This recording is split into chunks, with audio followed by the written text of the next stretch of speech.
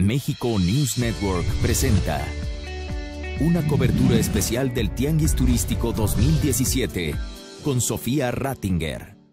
Hola, ¿qué tal? Bienvenidos una vez más, transmitiendo directamente desde la sede del Tianguis Turístico 2017, por supuesto a través de México News Network. Mi nombre es Sofía Rattinger y hoy me encuentro acompañada de Gustavo Ortega. Él es el director general de Vinícola El Cielo. Gustavo, ¿cómo estás? Sí, muchas gracias. Bienvenido a este, a este Tianguis Turístico 2017. ¿Qué representa este tipo de eventos para Vinícola El Cielo? Para nosotros es una oportunidad muy eh, importante, primero para hablar de la ruta del vino mexicano, que es, es un destino que está teniendo una gran fuerza, que está creciendo mucho, este, en que si bien el vino mexicano está cada, vez siendo más moda, pero la ruta del vino está cada vez atrayendo más gente de todo el país. Hoy por hoy, lo hemos visto en estos primeros tres meses del año, el, número de turistas nacional que ha, que ha ido a visitar al, valle eh, ha crecido de manera importante y también en Estados Unidos el, número de americanos que están cruzando la frontera, que llegan manejando hacia, hacia la ruta del vino, viene un incremento fácil del 30%. Y bueno, y, creo que ahorita eso, aunado aparte que tenemos un proyecto muy padre de un, nuevo hotel de, villas este, dentro de los viñedos, pues y también promocionar un poquito lo que vamos a hacer en los próximos meses. Y me parece muy importante, hablaba fuera de, fuera, fuera de cámaras con, con el señor, porque normalmente cuando uno dice voy a visitar México, uno piensa en playas, arena, que, que es, es, valiosísimo, es un recurso valiosísimo que, que, tenemos aquí en este país, pero en el norte del país suceden cosas mágicas. Este, este, este nuevo turismo, se le puede decir, este, ahorita con el proyecto de Kierta, nos va a platicar un poquito más sobre el proyecto del Hotel Boutique que tiene, que tiene, que tiene entre manos y acerca de este turismo de, del vino. Fíjate que a mí una idea se me, se me ocurrió hace, un tiempo. Este, en alguna vez vi una película sobre el tequila. Okay. Y te imaginas las escenas tequileras ahí en Jalisco. Y la verdad es que en mi caso, pues yo soy más, más fanático del vino. Entonces, este, estaba en, un, en, mi proyecto con mi esposa de hacer un hotel boutique. Y un día estando en, en, un hotel boutique en Francia, vimos, digo, ¿y por qué no llevamos esto a México? O sea, poder traer esa experiencia y hacerla pues con un toque mexicano. Entonces, de ahí nos nace la idea. Fuimos a conocer el Valle de Guadalupe en Baja California y a pesar de que veníamos de una zona turística como es Quintana Roo, pero nos enamoramos del valle, vimos un área de oportunidad interesantísima. La industria este, vitivinícola viene creciendo a nivel nacional arriba de, dos dígitos, del, 12 y el 17%, que pocos sectores crecen en ese ritmo. Y aparte vimos un área de oportunidad impresionante en, la zona, ¿no? De entrada tienes, pues solamente lo que es Baja California, más de, más de 2 millones de, habitantes en la, en la región, con Sonora, pero aparte tienes como, frontera a, a, menos de dos horas pues, California, Por donde tenemos una de las economías más importantes del mundo y donde hay una gran interacción entre los dos países.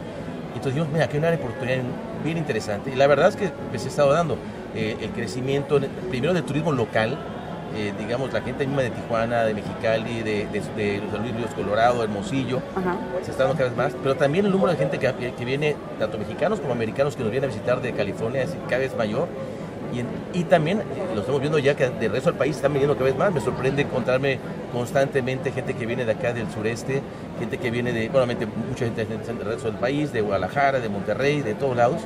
Y, esto, y eso habla de que pues, la, cultura del vino está creciendo, el interés por todo lo que va en torno al vino, el vino, los quesos, el arte, la música, hay muchas cosas que van en torno a, a la industria vitivinícola y, este, y bueno, si eso aunamos el proyecto, pues lo vamos a complementar con, ahora sí con el Hotel Boutique, donde la gente pueda no solamente tener la experiencia de día, sino también amanecer, ver, ver el amanecer en los viñedos o los atardeceres o las noches espectaculares con las estrellas en el cielo.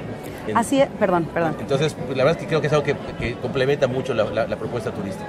Y creo que, creo que mencionó una palabra clave, la experiencia. Este, mencionábamos en, en entrevistas pasadas que uno sí, busca novedad, ¿no? Cuando, uno planea vacaciones uno busca novedad, busca, por supuesto, lugares, este, lugares con atractivos, pero creo que, creo que la palabra clave es experiencia y con, em, el cielo, con el Hotel Boutique, se, se, puede conseguir eso, se va a conseguir eso y, y, seguramente ya se está consiguiendo porque, porque tenemos atardeceres y unos amaneceres impresionantes y creo que es una propuesta sumamente atractiva y sumamente interesante que se pueda se pueda adquirir, que se pueda vender toda esta experiencia eh, vinícola.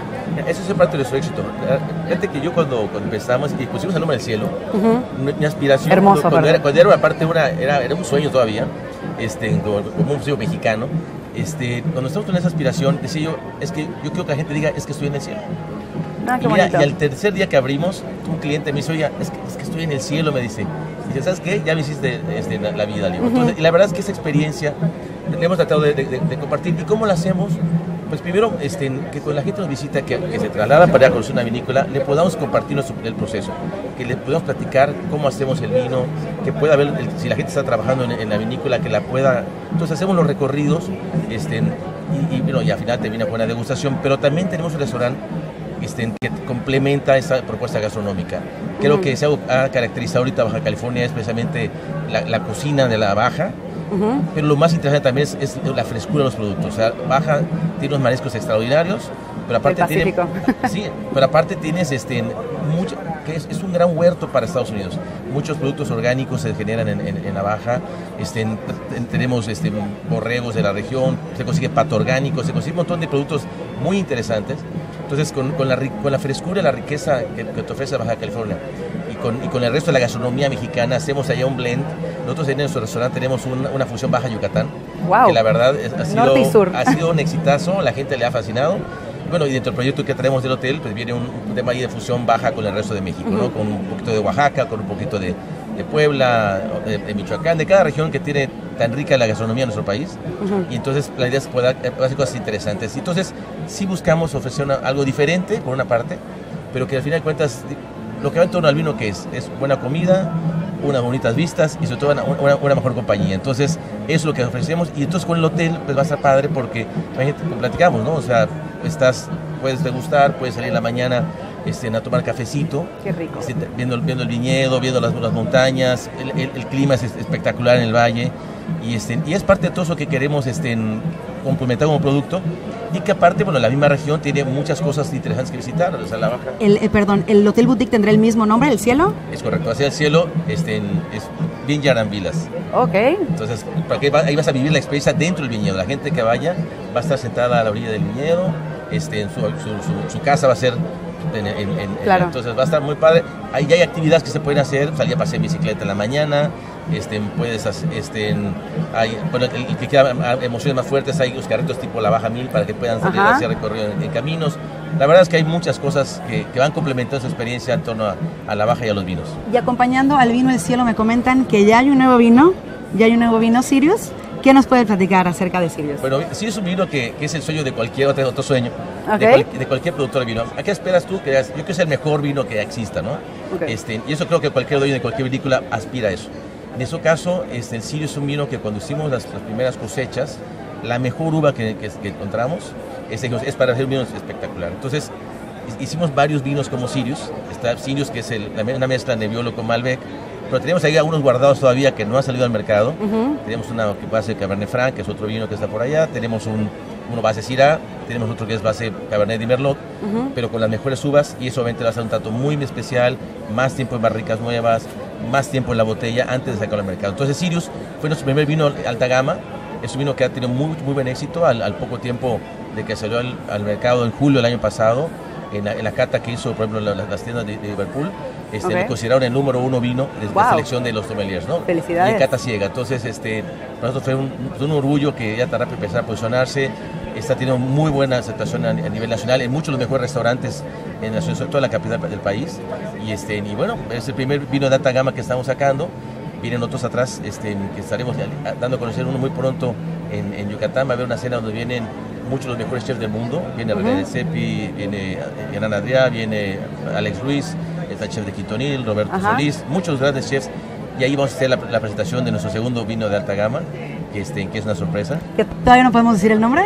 Pues, se va a llamar Polaris. Ok. Es la estrella polar, que es la que marca el rumbo para los, viajeros. Y en el caso del vino, pues es una mezcla tipo bordalesa, que es, digamos, que los vinos del Burdeos son como que el, vino a seguir. Entonces, en este caso, vamos a hacer un, vino en base a la mezcla bordalesa. Me comentan que todos los nombres, el cielo, Sirius y en este caso ahorita Polaris, todos tienen que ver con la constelación. ¿Por qué?